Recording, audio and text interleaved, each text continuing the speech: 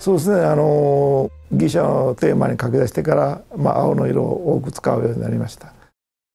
そしてそのギリシャの神殿特に夜の風景を書き出すによって群青の濃淡でそれを表現するようになってからより群青石の研究っていうのに入っていきましたですね。はい、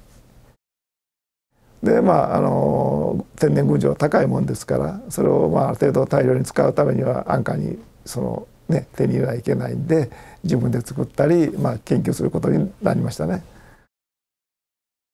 こうして粒子の粗さが違います。でこれが8番でこっちが7番そうするとこうして絵の具が微妙に色が変わってきます。で粒子の細かくなりますとこうしてこのぐらいまで色変わります。ですから日本画の絵の具は同じ一つの色でもこんだけ色の幅がありますのででこれをあの焼きますとより炭化して色が全部変わりますのでそれによって色のバリエーションは多く出ます。で絵の具の大事なのはやっぱり重さがなかったらいけないですね。軽いものはあの筆から降りないんですね。絵の具が。ですからある程度絵の具自身は重くなかっちゃいけない。重いものはハケで引きますと画面に定着していきますのでムラもつきにくいですし。ですからあの人工の絵の具はそれに銅を少し入れて重くしてあるんですね。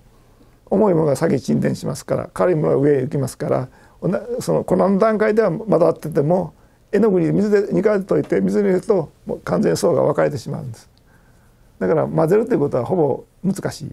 だから重ね塗りをすることによって表現していく。日本画の場合は。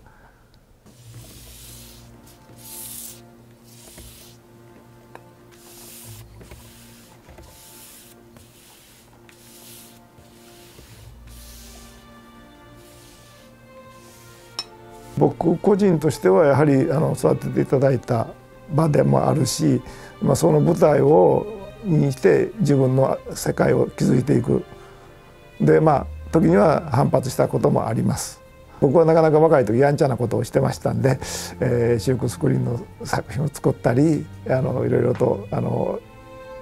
問題を起こしたこともありますしだからそれでも見荒らすわけではなく